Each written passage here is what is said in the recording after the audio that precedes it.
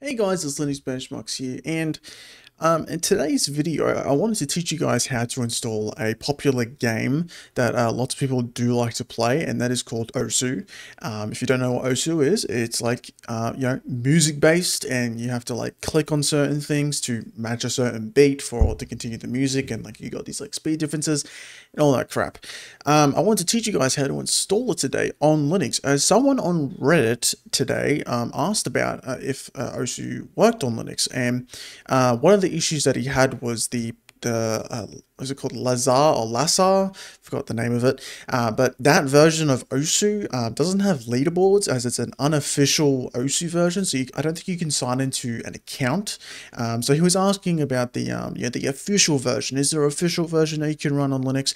And uh, there is. You can just run uh, Osu through the Wine version. So I'm going to teach you guys today how to install either um, the Wine version or the Flatpak version. So this one is the Flatpak version, like the uh, Lazar Lazar, we want to call it, um, version of OSU. So this is unofficial, but it is um, packaged and updated uh, a lot.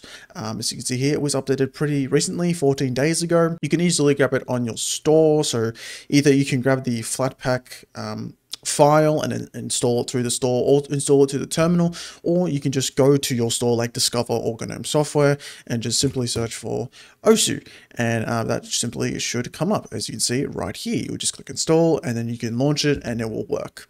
But if you want the official version of OSU, the, you can use the Windows, uh, you know, the .exe uh, version of OSU uh, to run it through Wine. So um, I found this um, forum from this person, uh, Marshmallow, who made a tutorial um, not long ago, and uh, he was running it on uh, Zorin OS, and the installation is quite easy, I would say. So I already have it installed, but you would just go through these um, these commands here. You would just copy and paste you see it already exists for me. Um, you would CD into it. Um, you know, we CD into it. Uh, and then we want to change some permissions on the .sh file so that it can uh, read and write. Um, then after you give the permissions, uh, you just want to run the .sh file. And that's quite easy. Um, uh, simply what we'll do here is we'll do osu wine remove so that I can go through the steps again. Um, it will delete the wine pre prefix, delete the game files, whatever. I haven't really used it um, that much. Uh, but here we go here, we just run the .sh file and it will create a wine, prefix, a wine prefix for us. It's going to install all the necessary um, dependencies. When I first installed this, it had like a bunch of dependencies it needed to be installed, but for this one, it just needs wine and wine 32-bit. And yeah, after that's done installing, um, it's basically going to create a shortcut for you and um, you can launch the game and instantly start playing. And it does seem like it uses a TKG version of Wine, uh, 8.21. So that's a really new version of Wine as well. Um, as we can see here, we can uh, choose where we want to install the game. So the default path will be .local slash share slash osu wine. Um, so that will be in our home folder, I'm pretty sure. Um, it did find a version, or it did find Flatpak uh, Lutris, uh, but you don't want to do that. Um, we want to ignore that so that instead of um, mucking around with Lutris, if we uh, look through here, it did grab Wine32 uh, zip, so it's going to create those directories for us. Um, it's probably going to install some other dependencies like um, Winello, um, probably some fonts. Like right now, it's installing some fonts for us. So after that, after that's uh, fully installed, it won't take that long to create the shortcut and then it will just, you know, right now it's just creating a prefix.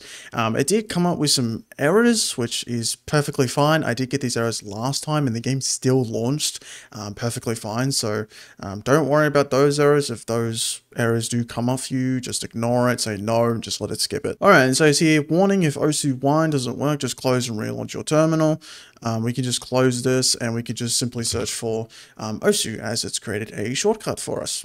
And now it's going to open the OSU updater, um, just like it would on Windows, and it's going to you know, update the game client.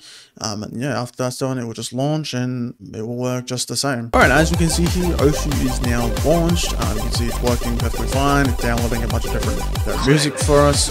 Um, so the next thing, you know, you just want to um, do the offset adjustment and change this to minus 35 milliseconds so that it's the same uh, like audio with Windows.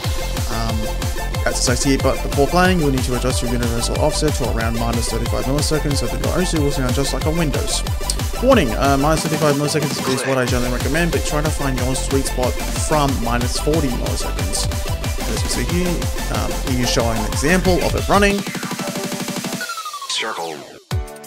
And of course, if you need any help, you can easily open your terminal, um, do osu uh, dash one dash dash help, um, and you can look at some of the commands that it has, can basically muck around with that. If you have any issues, if you want to remove it or um, fix the prefix or update it or whatever, um, you will just do it here. And that's basically it. So if you did enjoy this um, short video for today, you definitely can give it a like and subscribe. Um, we're almost at like 1.4k subscribers, which is pretty crazy um, to say the least. Well, actually checking uh, my dashboard, we have hit 1.4k subs. I only needed like two more um, subs and we would, would have hit 1.4k. So thank you for 1.4k subs. Uh, I really do appreciate it like a ton. Also, like I said, with the members who joined seven days ago, uh, Florian Stadler, uh, thank you for supporting me, bro. I really do appreciate it. Also, uh, Nulla, or um, I like to call him his real name, which is Shante. Um, I want to thank you as well for being a supporter. Um, if you want to become a member, you definitely can, uh, but you don't actually need to. All you need to do is basically like the videos, so then the algorithm can recommend my videos over other videos.